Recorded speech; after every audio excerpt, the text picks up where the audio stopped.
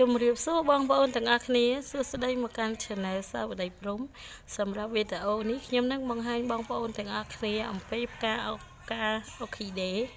ផ្កាអូខីដេជាប្រភេទផ្កាម្យ៉ាងដែលមានលក្ខណៈស្អាតហើយរីកបានយូរផ្កាអូខីដេមានច្រើនពណ៌មែនទែនមានពណ៌លឿងពណ៌ស្វាយពណ៌ឈូកពណ៌ក្រហមពណ៌ទឹកក្រូច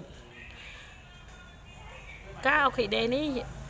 យើងអាចឆ្នៃវាបានច្រើនមុខខ្លាំងណាស់សម្រាប់វីដេអូនេះគឺជាការឆ្នៃផ្កាអូខីដេរៀបចំផ្កាអូខីដេដាក់ក្នុងថូសម្រាប់ដាក់តាំងនៅលើតុសម្រាប់ការអូខីដេគឺមានលក្ខណៈស្អាតគ្រប់ពណ៌ទាំងអស់មិនថាពណ៌សពណ៌ក្រហមពណ៌ទឹកក្រូចពណ៌លឿងអីនោះទេ រូបភាពនៅក្នុងវីដេអូនេះបង្ហាញបងប្អូនទាំងអស់គ្នាអំពីការច្នៃម៉ូតផ្កាអូខីដេសម្រាប់ដាក់តាំងនៅលើតុដែលមានលក្ខណៈស្អាតស្រស់បំព្រងនិងទាន់សម័យផងដែរបងបងប្អូនទាំងអស់គ្នាអាច រៀបចំកាអូគីដេទៅតាមចំណង់ចំណូលចិត្តរបស់បងប្អូនឬក៏តាមរូបភាពនៅក្នុងវីដេអូនេះក៏បានដែរសម្រាប់បងបងប្អូនដែលមិនទាន់បានចុច Subscribe សូមជួយចុច Subscribe Channel យើងខ្ញុំម្នាក់មួយហើយនឹងចុចសញ្ញារូបកណ្ដឹង